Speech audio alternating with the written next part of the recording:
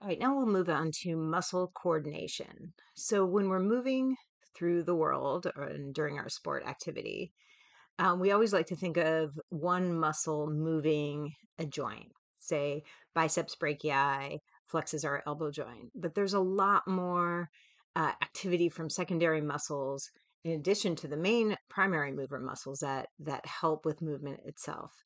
So muscles causing the movement must have a stable base, right? So if you're going to flex at the elbow joint, you need to stabilize that proximal part of that movement, the humerus, and then thus the scapula.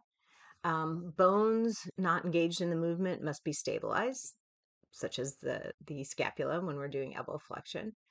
Um, and then muscles often cause movement in more than one plane, and so these movements need to be neutralized. So let's look at some definitions.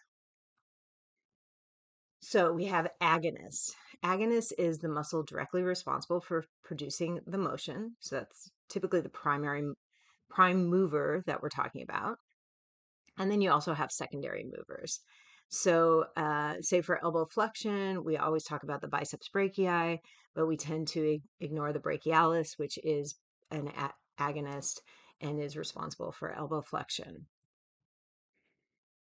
Synergist is another term, and this you can view as kind of cooperative muscle function. So, for this example, you see the scapula and the humerus, and you have the teres major, which is an abductor of the glenohumeral joint. But you can see if the muscle shortens at both ends, it's also going to upwardly rotate the scapula.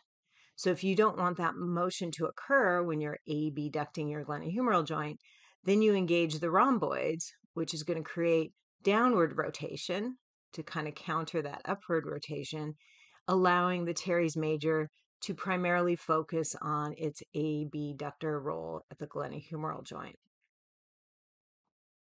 Neutralizer is another term. It prevents undesired motion, similar to what we talked about with teres major and the rhomboids. Um, so in this example, if you want to adduct the scapula or pull the scapula closer to the spine, the trapezius adducts the scapula, but also rotates it upward. The rhomboids adduct the scapula and rotate it downwards. So those will kind of neutralize um, the rotational motion, and together they will just adduct the scapula. We also have the antagonist. So typically we call call talk about the agonist, and then the opposite is the antagonist, which are the have the opposite effect on the joint of the the prime movers or the agonists. Typically, you do not want the antagonist to be activated during motion, otherwise, you get co-contraction and no motion. Um, so, you want them to relax to permit the motion. Um, and then, after the motion is completed, typically they turn on in an eccentric contraction to act as the braking component of the motion.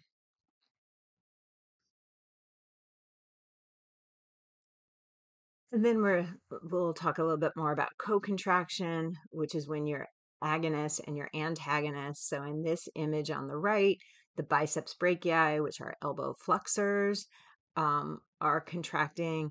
And then also your triceps brachii, which are elbow extenders, are also contracting. And that should result in basically no motion at the elbow joint or an isometric contraction.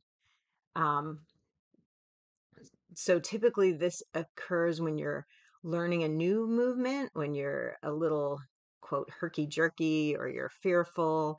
And then as you get better at the motion, um, you learn to use your agonist and antagonist in a better sequencing um, to have a better fluid motion.